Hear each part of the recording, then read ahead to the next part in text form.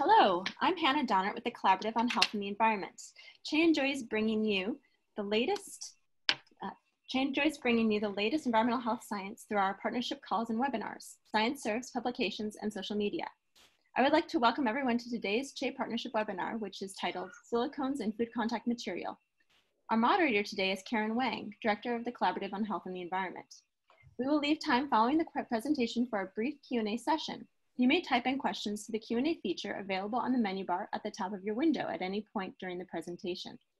After the presentation, our moderator will read out questions for our panelists to respond to. We will get to as many comments and questions as we can during the Q&A period. For those of you who call in on the phone, we have posted slides to accompany today's webinar on our website. You can download these by going to healthandenvironment.org. Please scroll to the bottom of the page and select today's webinar.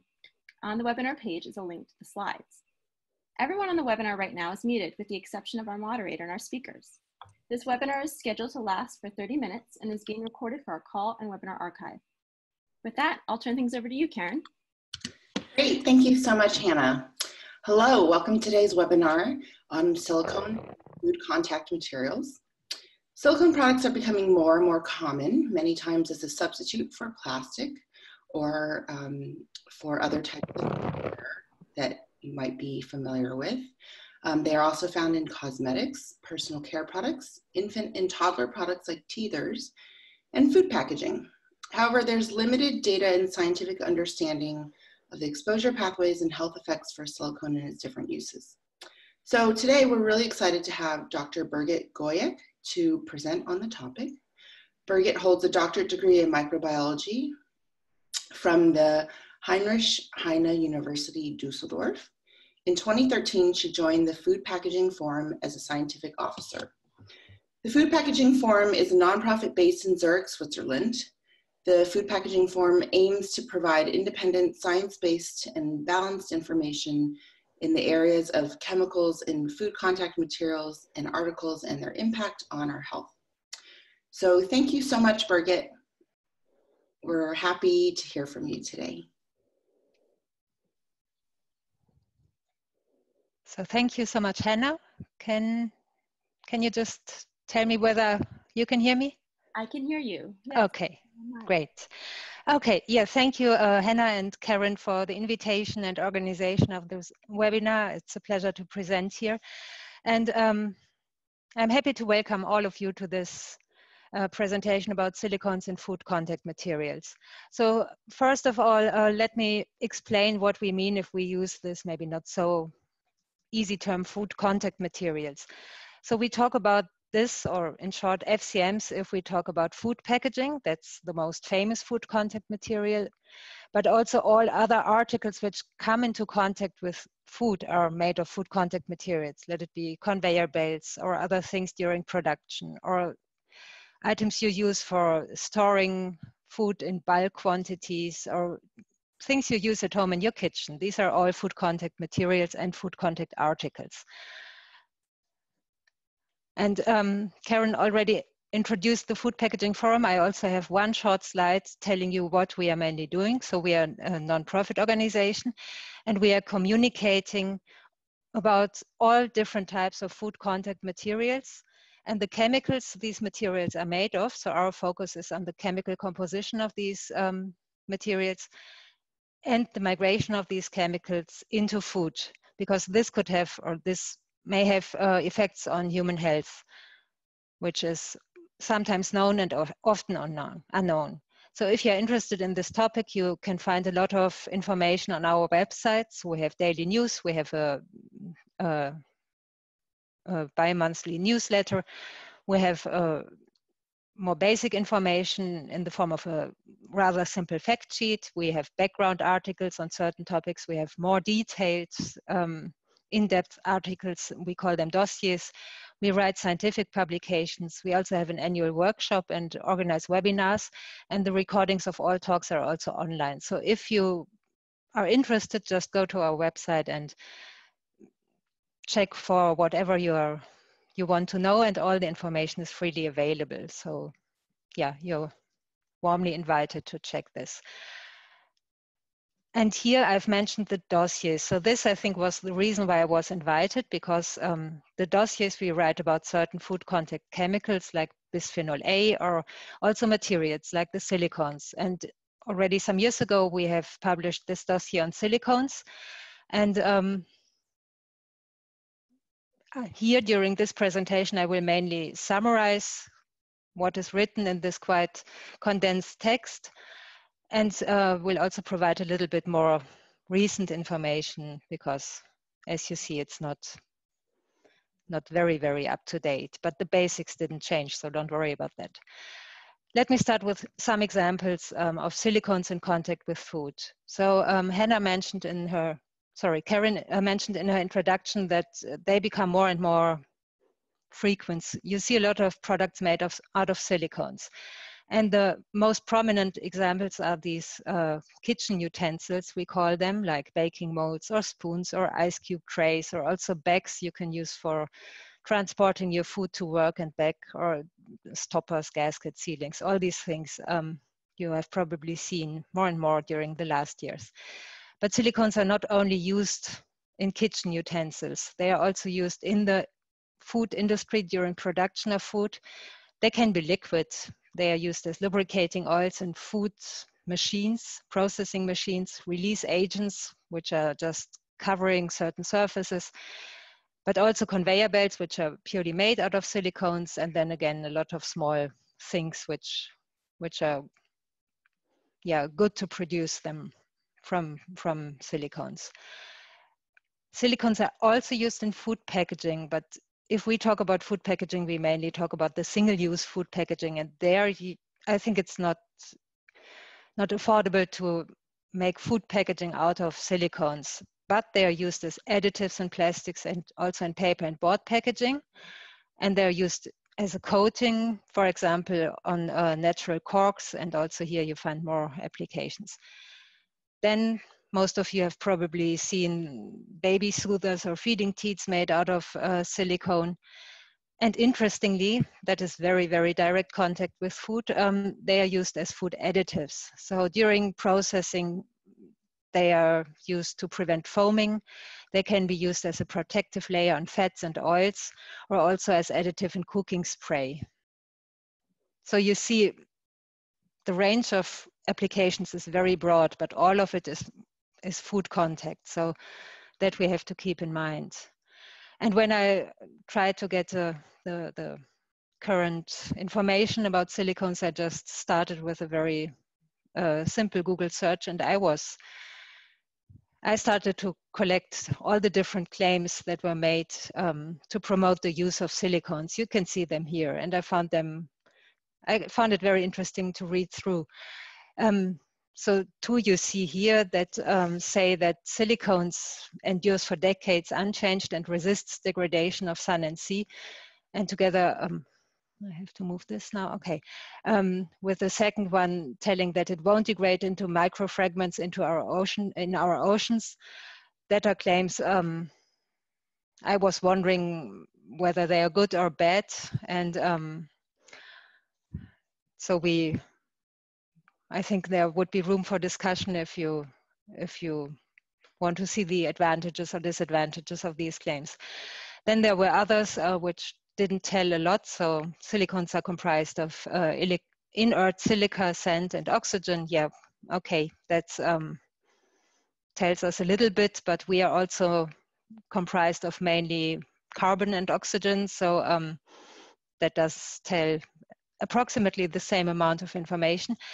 Um, and then there are other claims which may also not stand up to closer verification. So whether they are eco-friendly or ocean-friendly or less wasteful, I think it's it's open for discussion. The same is about the recyclability or the, the food safety.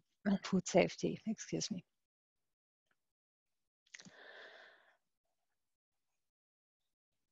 So I had some open questions after reading this. And um, I thought we, we really may think about the, the information we already have and promote the information we have. And we need to understand the basics of silicone. So we may need to talk about the chemical properties and the areas of application. Then the migration and exposure data. I will explain a little bit more when I come to this. The human and environmental hazards. And also we need to identify knowledge gaps. So let's start with a very basic thing, the chemistry of silicones. Um, silicones are also called polysiloxanes. So if you find this word, it's, it's saying the same, it means the same. And here you see a, I try to make it simple, but still it looks a little bit complicated. You see a structure of a typical silicone. And in light blue, you have a, the backbone, as it is called. It's um, composed of oxygen and silicon atoms. And then um, to the silicon, there are organic side chains connected or side groups connected. And between the brackets, you see one single functional unit or one monomer. This can be repeated many, many times if you produce a silicon. So there are small silicon molecules.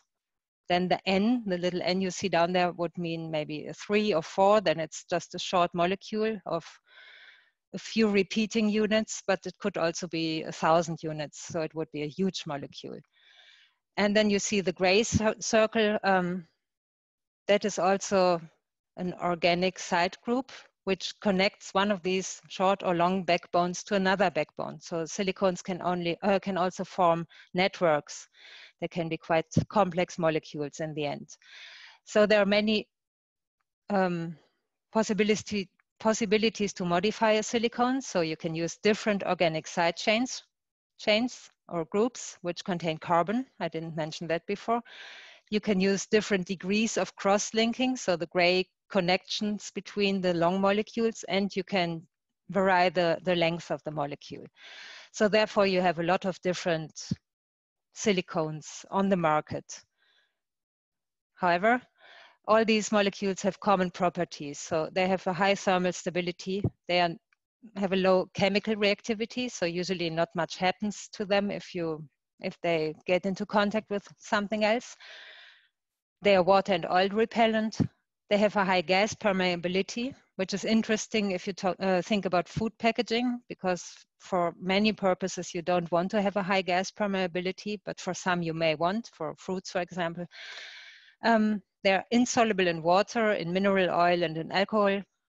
They can take up hydrophobic molecules, so they can bind other molecules. I found that very interesting. And they can be hydrolyzed by acids or bases also.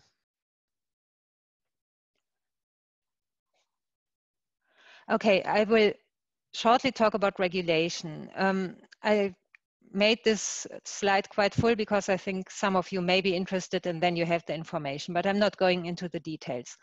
So since silicones are used as food contact materials, they're regulated in, in some countries. So in the US, they are regulated as indirect food additives by the US FDA under the Code of Federal Regulation um,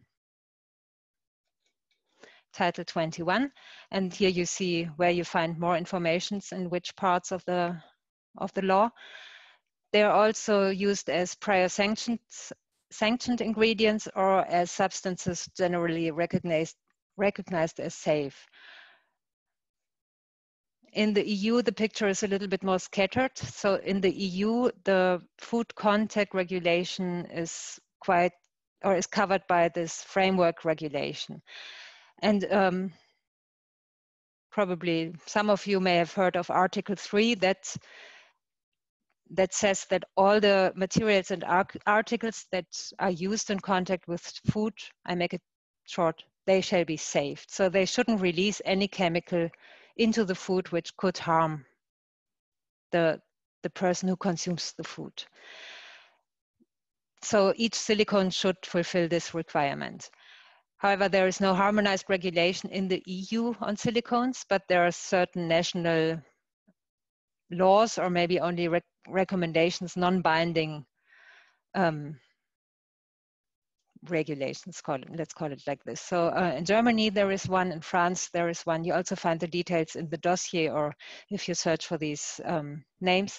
The Council of Europe, which is also not, not binding, they published uh, a resolution on the use of silicones in food contact applications in the year 2004. And silicones are also, some of them are listed in the EU plastics regulation. So plastics is regulated within the whole EU. And um, all chemicals which are allowed to be used during the production of plastics, they are listed in Annex 1. And this list contains six polysiloxanes. That is only a, a small number, but there you can also find them already. Okay, now let's uh, go to the migration from silicones into food. So I, I, mentioned this word before, and it was somehow also um, mentioned in the framework regulation. So this means that chemicals are transferred from, in this case, silicones or also other food contact materials into food. That's um, what you what you mean when you talk about migration. And there are some typical types of migrants. These are the, the chemical molecules which can, can migrate. And uh, for silicones, siloxane oligomers are one big group of migrants. Also additives and catalysts and also breakdown and reaction products. That's what I've ex extracted from the scientific literature, these groups. And the most prominent one, if you check this literature, are the siloxane oligomers. So here you see some of them. You don't need to look into the details of the structure, but um, the names may appear later on. So there are linear siloxane oligomers. If we start with the L3, that is composed of three subunits. That's why it has the number. L is linear, that's pretty simple. And then if you increase the number, the, the backbone of this molecule gets a little bit longer. So four or five, or it could be even more. Um, and then there are the cyclic uh, siloxane oligomers. And they are called D for a certain reason. I won't explain this, it's a little bit complicated, but there is a reason. So they are called D4 if they have four subunits, D5 if they have five subunits, and so on. And uh, up to the uh, D18 have been measured to migrate from food contact silicones. And there's one rule of thumb, uh, the smaller the more volatile these molecules are. So um, they behave quite differently if they are smaller than if they are a long chain molecule. And um, as I said, most of the studies describe the, the migration of the siloxane oligomers, so the rather small and volatile molecules. So um, I try to summarize them. There are not many studies. So if you compare it to plastics, you find hundreds and thousands of studies. But if you look at the um, hundreds, maybe not thousands, but um, if you look at sil silicones, you don't find many studies. But still, you can. I try to make some general or summarize some general observations, and um, this will be a quite crowded slide, but you find all the detailed information in the sources on the bottom of the, of the slide. So uh, most studies which I've found, they address the migration of siloxane oligomers, as I said before, and mainly the cyclic oligomers. Compared to the linear, they migrate, migrate at higher levels. The levels of migration usually decreases after repeated cycles. So that means if I test a material and fill in a certain liquid to see what chemicals migrates from the material into the liquid. If I do that again and again, the levels usually decrease. But that's not surprising. That has been observed for many other materials. If I want to know what is in the material, I may do this kind of migration experiment I've just described, but I can also do a harsh experiment using solvents. So I take the material and do an extraction and um, get out much more. And um, there is a study from Denmark where they have tested silicone food contact articles from the Norwegian market and there they have seen if they perform an extraction the levels of migrants exceed the proposed action limit. So they are very high, they are higher than they should be. But if they do only migration, then the, the levels stay below these proposed action limits. And that's also not very new because extraction is usually is done under much harder conditions. A very new study reported that there are volatile cyclic oligomers um, they could be measured in the air if you bake in a silicon mold. And also the silicon molds emit higher levels of particles into the air than the metal molds, which the group has used as control. Some older studies, which are also cited in the dossier, they say that silicon baking molds can lose substantial amounts of their masses during use at high temperatures, so more than 0.5%. And inter interestingly, these um, losses uh, somehow compensated by the integration of fat into the material. So if I bake some cake or some whatever else I can put in such a mold, then the fat can also go into the form and this of course may cause some hygienic problems. And um, what I found very interesting, only very few studies address the migration of non-silicone substances. But I found one from the year 2012 where um, non-silicone migrants from silicone baby bottles were tested. So um, this was been or has been published by the Joint Research Center of the EU, and um, they have tested all different sorts of baby bottles, but also um, silicone baby bottles. And um, they have used these bottles, filled them with 50% ethanol and incubated them for two hours at 70 degrees. And then they identified all different kinds of substances, including phthalates, DIP, DIPN, benzophenone and naphthalenes. So the last three are related to um, printed subs or uh, printed food contact materials, and they also found quite high levels of aldehydes. And concluded, the authors concluded that this material generally showed migration of a greater number and extent of substances than polypropylene, which I found very surprising, but there is not much work going on on these um, on these non-silicone migrants. Um, so Karen also mentioned in the beginning, we are not only exposed to silicones from um, food contact materials, but of course, many other sources exist. And one prominent one is, for example, cosmetics. And we don't only consume them by ingestion, but also by inhalation and dermal absorption. However, they, especially the small cyclic silicones are rather quickly eliminated via breathing.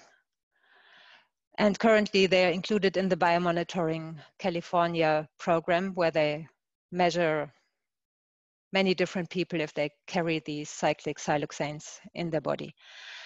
And um, for the non-silicone migrants, I would say we need more data because we don't know what migrates and um, that, that is, in my opinion, a, a knowledge gap. Um, I just look at the time. I will skip the, this slide, but uh, we'll go to the environment and we'll be quick here too.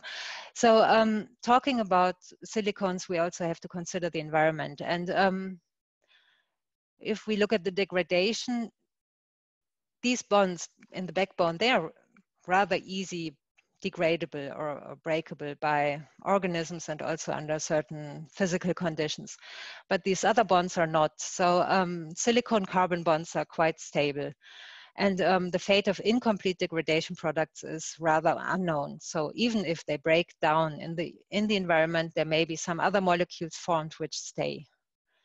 And one last point about recycling, I found that very interesting because when I wrote the dossier, um, it was said that chemical uh, that silicones cannot be recycled. But now it seems to be a technology available that um, can recycle silicones, so it breaks them down into small pieces which can be used for something else. But uh, I think there are no collection schemes for consumers at the moment, and it's not possible to use it widely. So now I come to the conclusions. So these silicones, um, we have been talking about are materials with unique properties that can be used for various applications and they are often strongly promoted as safe and environmental friendly alternative to plastic. However, we should carefully evaluate whether the use of silicones in contact with food may be of concern for human health or the environment, in addition to all the other exposure sources we have. So we need to better understand the properties of known migrants. We have to identify the unknown migrants and consider the fate of silicones at the end of, of their life. And with that, I would like to finish. So I skip this one. And now I think we have some more minutes for questions. Thank you very much.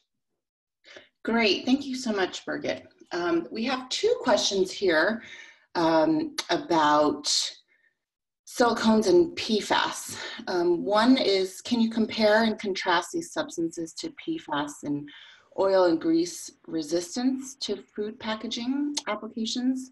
And then um, someone else also was thinking along the same line and saying that, you know, silicones have similar properties to PFAS with respect to water and food, water and grease resistance, as well as high temperature resistance. Are silicones being studied as PFAS replacements? And would it be regrettable substitution? I thought about that when I was preparing the webinar, but I didn't go into the details. But um, so for sure, PFAS are even harder to degrade.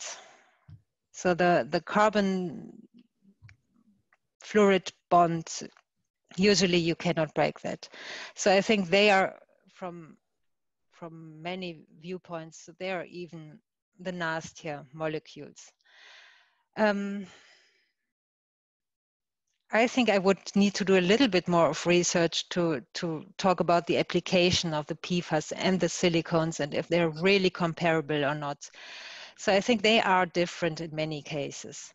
So PFAS, for example, if we use it in the kitchen, then it's it's in the in the coatings of the pans. There it's a, a very strong polymer. If we use it on paper, then of course it's a small molecule, which is um, which can be released much much uh, more easily. Um,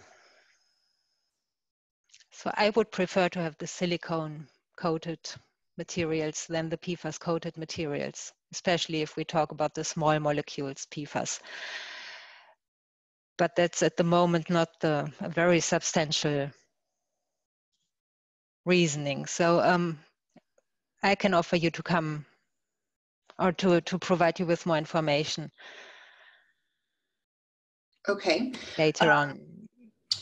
Uh, there's another question. Um, how do the non-silicone migrants get into the silicones?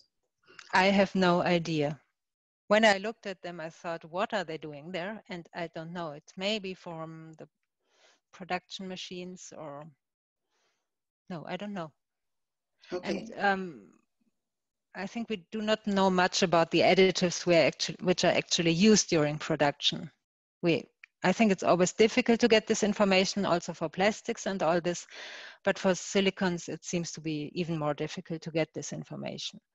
So it could be either contamination or maybe they have been, some of them have been used on purpose, but um, the paper didn't provide the details. Yeah, last week um, we had a, a, webinar about silicone wristbands being mm-hmm. used to measure air pollution and pesticides and other things. Is that, I think it's related to the uptake of hydrophobic molecules. Exactly. Is that also another potential source of contamination? And do we know whether or not those could be, migrate to food? Um, I think it's a very good point because especially if you claim that silicones are so inert, if they are inert, then they shouldn't take anything up. So it's in both directions, inertness. So they don't release any chemicals, but they shouldn't take anything up. So if they are inert, um, obviously they are not as inert as they are claimed by some people because they they interact with the with the environment. And um, I think much more research should be done there. Because okay, yeah, if sorry. phthalates are contaminants, then they have been taken up maybe during processing or whatever. This can happen under other conditions too. Um, and we had a question about, um, I think, I think uh, the the migrants um, that get into the food. Do we know a, if they bioaccumulate in humans, and B, what the health effects might be in humans? Yeah, I skipped that slide. I'm sorry. I, I was aware of the time. Uh, I don't know if you can still show it. It's in the in the PDF or in the slides which which have been shared. So they the small cyclic um, siloxanes they do they are PBT, classified as PBT in Europe. So that means they are persistent, so they are bioaccumulative and they are toxic. And they are even classified as very persistent and very bioaccumulative. So yeah, they they are. And do we know what the health effects are? Um, are we don't any? know too much about it. So I, I checked some animal studies and it the results there are quite scattered. So um, if you go back to the slide. Hannah, can you go back to the slide? Where? Sure, I can pull them back up here. So there have been some some uh, indications that they can have an effect on fertility in high dose animal toxicity studies. So this is completely different from what we are exposed to on a daily basis. That is, we have to be aware of. There have been some changes in, in some tissues. There have also been changes in hormone levels. Um, there's no indication that they could be genotoxic, but they also have some activity on. Oh, go back, yeah. Immune modulation. I think it's the next one, Hannah. It's uh, this. This one, yeah. Exactly this one.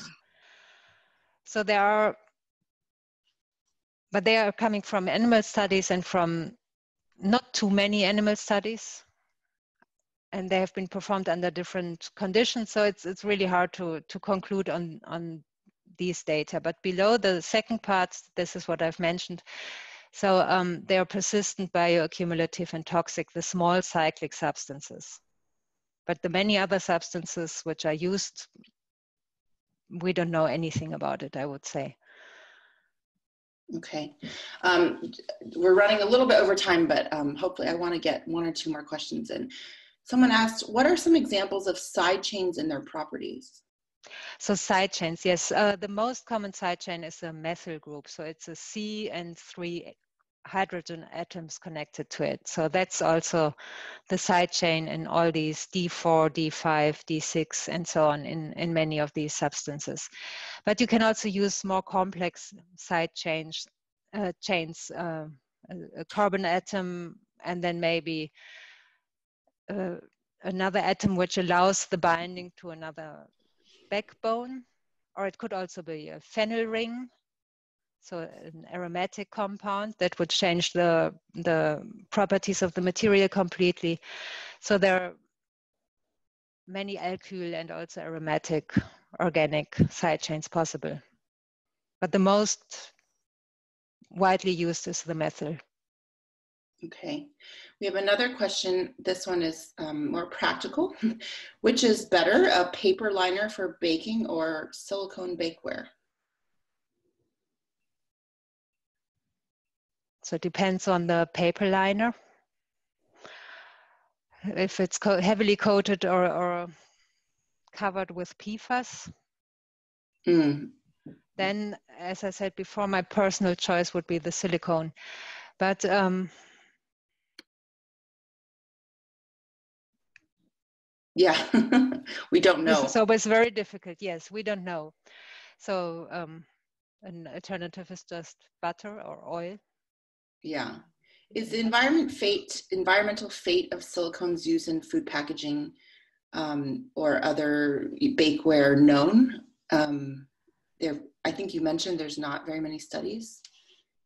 Um, so the these uh, cyclic small silicones, there is a little bit known about the environmental fate. So they are found at many places in many in many different animals and different environmental compartments. So that's I think part of their classification, or that's why why they have been classified as such. And um, the degradation, so the silicone you use, for example, in kitchen utensils, uh, I think in soil or in water or in any any environmental compartment, they cannot be degraded.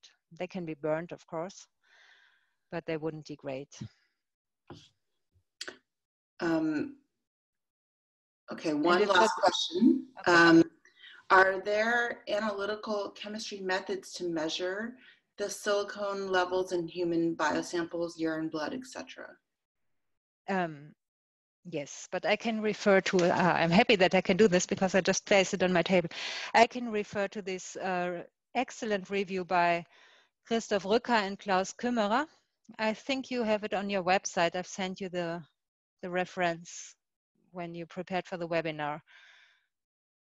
It's um, in Chemical Reviews published in the year 2014, and they give very good um, information about all the, the chemical background of silicones. So if you're interested in the details and the, the methods and where it has been measured and all this, I can strongly recommend this paper. Okay, great. Yeah, if you navigate to our webinar page, there's um, a sidebar where you can find both these slides and other resources that Birgit sent. Um, so I think we've gone over time. Apparently this is a very uh, interesting topic. So thank you so much. And Hannah, I'll turn it back over to you. Great, thank you so much, both of you. Um, thanks, thank you, Karen. We're approaching the end of our webinar today. A video recording of this webinar will be available on the CHE website soon. Tomorrow you will receive an email containing a link to the video. The CHE Alaska Partnership will host its next call on Tuesday, June 27th, and is titled Plastics and Health, the Hidden Costs of a Plastic Planet. To learn more into RSVP, please visit our website at healthandenvironment.org. If you are new to CHE and would like to stay updated on upcoming events and more, please sign up to receive our newsletter by selecting the Join Us tab at the top of any page on our website.